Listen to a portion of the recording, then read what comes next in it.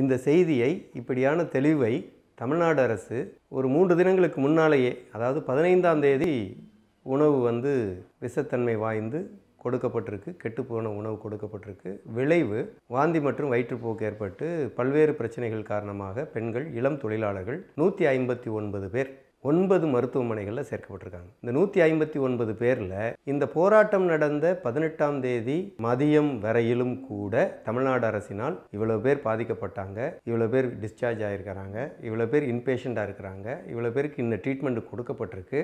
யாருக்கும் எந்த உயிர் சேதாரமும் இல்லை என்கிற தெளிவான விவரங்களை தர முடியலை. ஃபாக்ஸ்கான் கான்ட்ராக்டர் அதிகாரிகள் அரசு. இந்த நாளுமே வந்து தெளிவுபடுத்தலை. பதினெட்டாம் தேதி மாலையில் தான் இந்த செய்தியே வெளியில் வருது. அரசு தரப்பில் ஒரு அறிக்கையாக வெளியிடப்படுது.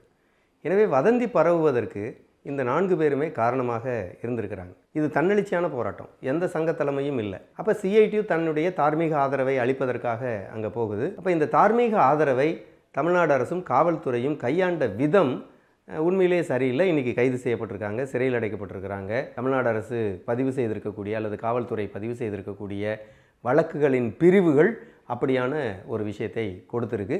இது வந்து எந்த வகையிலும் ஏற்கக்கூடிய விதமல்ல தமிழ்நாடு முழுவதும் இந்த அடக்குமுறைக்கு எதிரான கண்டனத்தை சிஐடி செய்து கொண்டிருக்கு போஸ்டரே ஓட்டுறாங்க. இளம் தொழிலாளர்கள் இந்த நிறுவனத்திற்கு பன்னாட்டு நிறுவனத்திற்கு இளம் தொழிலாளர்கள் தேவை. தங்குமிடம் உணவு இலவசம் அப்படின்னு போடுறாங்க. சம்பளம் இதற்கு மேல் அப்படின்னு சொல்கிறாங்க இதெல்லாம் வந்து ஒரு இவங்களுடைய தேவைக்கு ஒரு கவர்ச்சிகர அறிவிப்பு தேவைப்படுது. நாட்டிலையும் வேலையில்லா திண்டாட்டம் இருக்குது இவர்கள்லாம் வந்து எடுக்கப்படுகிறார்கள் என்பதை நாம் வந்து பார்க்குறோம். அப்போ அந்த பின்னணியில் இந்த விடுதிகள் நிறுவனத்தோடு சம்மந்தப்பட்டு தான் இருக்குது நிறுவனம் என்ன பண்ணுது? நேரடியாக வேலைக்கு அமர்த்த தயாரில்லை ஏன்னா அதுக்கு தேவைப்படுகிற லாபம் முதலை பசி யானை பசி என்பதையெல்லாம் தாண்டி அணகுண்டா பசியாக இருக்குது கான்ட்ராக்டர் மூலமாக குறைவான தொழில கூலிக்கு தொழிலாளர்களை வேலைக்கு அமர்த்துகிற ஏற்பாடை பார்க்குது. கான்ட்ராக்டர் எப்படி இருக்காருன்னா மன்னராக ஃபாக்ஸ்கான் நிறுவனம் செயல்பட்டுச்சுன்னா கான்ட்ராக்டர் எப்படி இருக்காருன்னா தலை படை தளபதியாக செயல்படுறாரு. அவர் இவர்களையெல்லாம் அடக்கி ஒடிக்கக்கூடிய ஆளாக இருக்கிறாங்க. கடந்த ரெண்டாயிரத்தி பத்து செப்டம்பரில் ஃபாக்ஸ்கான் இந்தியா ஹோல்டிங்ஸ் அப்படின்னு சொல்லி இந்தியாவில் இங்கே நம்ம சுங்கார் சத்திரத்தில் ஒரு நிறுவனம் நோக்கியா எஸ்இசெட் சிறப்பு பொருளாதார மண்டல வளாகத்துக்குள்ளே இருந்தது. இரநூறு தொழிலாளர்கள் விசவாயு தாக்கி மயக்கமடைந்து பாதிக்கப்பட்ட நிலையில் போராட்டம் வெடித்தது. அன்றைக்கும் சிஐடி தான் போச்சு. சிஐடியினுடைய மாநில தலைவராக இருக்கக்கூடிய ஆ. சவுந்தரராஜனும் இ. முத்துக்குமார் இருவரும் முன்னூறு தொழிலாளர்களும் கைது செய்யப்பட்டு வேலூர் மத்திய சிறையில் அடைக்கப்பட்டாங்க. ஃபாக்ஸ்கானில் உரிய சம்பளம் தரல மனித உரிமை மதிக்கப்படலை என்கிற பிரச்சனை காரணமாக சீனாவில் தொழிலாளிகள் சிலர் தற்கொலை செய்து கொண்டாங்க. உலகளவில் பேசப்பட்டது. ஃபாக்ஸ்கான் ஒன்றும் தொழிலாளர்களுடைய உரிமைகளை மதிக்கிற அல்லது மனித உரிமைகளை மதிக்கிற நியாய நீதிகளை பின்பற்றுகிற நிறுவனமெல்லாம் இல்லை என்பதற்கு இதெல்லாம் ஒரு உதாரணம். இன்னும் சொல்ல போனால் கடந்த காலத்தில் நாங்கள் நடத்தின போராட்டத்தில் ஆலை மூடினாங்க. அப்படி மூடுகிற போது அவங்க சொன்னாங்க மீண்டும் நாங்கள் ஆலையை திறந்தால் இப்போது வேலை இழக்கக்கூடிய தொழிலாளர்களுக்கு வேலை வா- வாய்ப்பில் முன்னுரிமை தருவோம்னாங்க ஆனால் என்ன பேரில்? ஏற்கனவே ஃபாக்ஸ்கான் இந்தியா ஹோல்டிங்ஸ் இருந்தது. இப்போ என்ன பேரில் வைக்கிறாங்க? ஹான்ஹாய் ஃபாஸ்கான் சொல்கிறாங்க அல்லது ரைசிங் ஸ்டார் மொபைல் இந்தியா லிமிடெட்னு சொல்கிறாங்க பின்னாடி ஃபாக்ஸ்கான் தான் இருக்குது. முன்னாடி இந்த பேர் இருக்குது. அப்போ எங்களுக்கு வேலை தரல. அரசு முன்னிலையில் அரசு அதிகாரிகள் முன்னிலையில் நடந்த ஒப்பந்தம். நிரந்தர தொழிலாளர்களை இவங்களை எடுத்துருக்கணும். எடுக்கலை.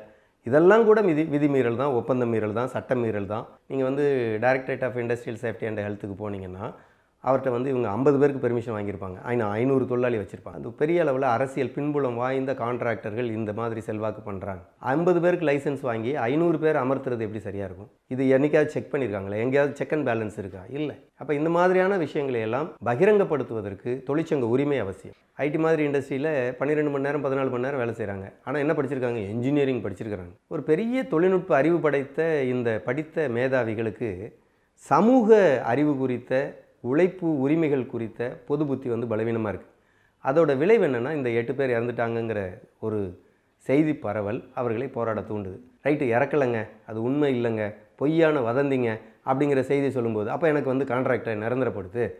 அப்போ எனக்கு நல்ல சாப்பாடு கொடு. எனக்கு பத்துக்கு பத்து ரூமில் தங்க வைக்கிறத நல்ல ரூமில் தங்க வை. பத்துக்கு பத்து ரூமில் எட்டு பேர் அடைச்சி வைக்கிறியே இதெல்லாம் கொத்தடிமை முறை இல்லையா? அப்போ தான் அவங்களுக்கு வந்து கடந்த கால அடக்குமுறை ஒடுக்குமுறை எல்லாம் வெளியில் வருது. எனவே இது வந்து ஏற்கனவே இருக்கக்கூடிய குமுறல்களின் வெளிப்பாடு அப்படி தான் ஆயிரம் பேருக்கு ஒரு வேளைக்கு இருபது ரூபாய்க்கு சாப்பாடு தர்ற நிறுவனம் கிடைக்குமான்னு பார்க்குது ஒருத்தர் கொட்டேஷன் இருபத்தஞ்சு ரூபா தருவார் ஒருத்தர் இரு இருபத்தி ரெண்டு ரூபா தருவார் ஒருத்தர் இருபது ரூபா தருவார்னா இருபது ரூபா தர்றவங்கள செலக்ட் பண்ணுறாங்க இருபது ரூபா தர்றவர் எப்படி தருவார்? நல்ல சுவையான உணவை எப்படி தருவார்? இதெல்லாம் வந்து ஒருத்தரை சுரண்டி கொடுக்குற விஷயம். இது ஒரு பிரச்சனை. ரெண்டாவது பிரச்சனை சிக்கன் பீஸ் இருந்தால் அவர் பெர்மனெண்ட் தொழிலாளி. சிக்கன் பீஸ் இல்லைன்னா அவர் குஸ்கா மட்டும் சாப்பிட்றாருன்னா அவர் கான்ட்ராக்ட் தொழிலாளி.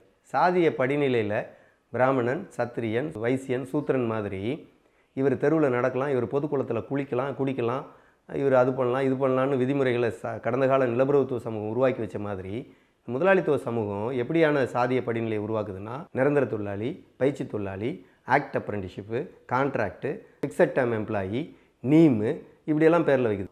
அவருக்கு வந்து ப்ராவிடன்ட் ஃபண்டு கொடுக்க வேண்டியதில்லை கிராஜுவிட்டி கொடுக்க வேண்டியதில்லை அடிப்படை உரிமைகள் கொடுக்க வேண்டியதில்லை. கிட்டத்தட்ட ஒரு பதினான்கு ஆண்டுகள் அவரை அத்துணை வகையிலும் சுரண்டிக்கலாம். அப்படி சுரண்டிக்கிறதுக்கான லைசன்ஸ் நீம். எப்படி வந்து தொழிலாளி உரிமைக்கு போராடுவாங்க? அச்சத்திலே வாழலாம் அப்போ அச்சத்திலே வாழ வைக்கக்கூடிய ஒரு ஏற்பாடை செய்து. சுயமரியாதை பேசுகிற தமிழ்நாட்டில் இதை நீங்கள் வந்து கேட்க மாட்டிங்களா? சமூக நீதி பேசுகிற தமிழ்நாட்டில் இதை கேட்க மாட்டிங்களா? இது வந்து எவ்வளோ பெரிய ஒரு பாரபட்சம் எவ்வளோ பெரிய இழிநிலை. அப்போ இந்த இழிநிலை எங்கே முன்னேறி இருக்குது? முதல் போட்ட முதலாளி வேலை வாங்கட்டும். வேலை செய்கிற எனக்கு உரிய கூலி தரட்டும். எவ்வளோ நேரம் வேலை செய்யணும் அப்படிங்கிறத சட்ட உரிமையாக்கட்டும். எப்படி வேலை செய்யணும் என்பதை சட்ட உரிமையாக்கட்டும். என்னுடைய சுயமரியாதைக்கு பங்கம் வராமல் நாகரிக வேலையை வழங்குகிற ஏற்பாடு வேணும். உங்களுக்கு லாபம் எவ்வளோ முக்கியமோ அந்த அளவுக்கு எனக்கு வாழ்வாதாரம் முக்கியம். என்னுடைய உரிமை முக்கியம். முதல் போட்ட முதலாளி ம- எங்கேருந்து முதல் போட்டார்? யார்கிட்டேருந்து முதல் போட்டார்? ஏற்கனவே இருக்கக்கூடிய சுரண்டல் அமைப்பில் எடுத்திருக்கக்கூடிய மூலதனத்தை தான் புதிய முதலாக போடுறார். அதே மாதிரி தான் இன்றைக்கி இருக்கக்கூடிய ஒரு தொழிற்சாலையில் நூறு தொழிலாளியிடமிருந்து அவருக்கு கிடைக்கிற ஒரு நானூறு மணி நேர உழைப்பு நேரத்தை பயன்படுத்தி தான் தொழிற்சாலைகளை விரிவாக்குறார்.